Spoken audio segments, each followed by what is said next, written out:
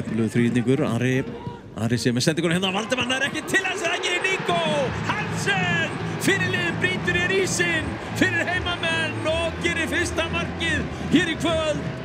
Við hæfi að Nico Hansen eh, með bandið.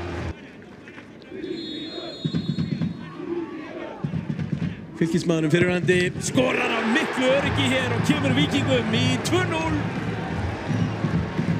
Restunginni, stóru mennir hjá vikingum.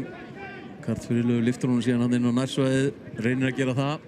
Bóttin skoppar inn í teifnum, kemur á fjær, Gunnar, Vatnamar að skora hér þriðja markið fyrir vikinga.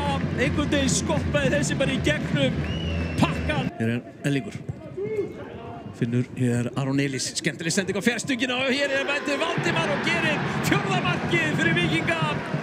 Valdimar Þór Ingemyndarsson annamark sitt og fjórðamark Vikinga.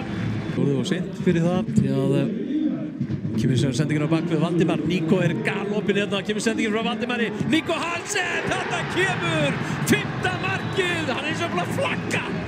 Hann er að flagga hér, kroatíski aðstofardómarinn. Valdimar eða hvað?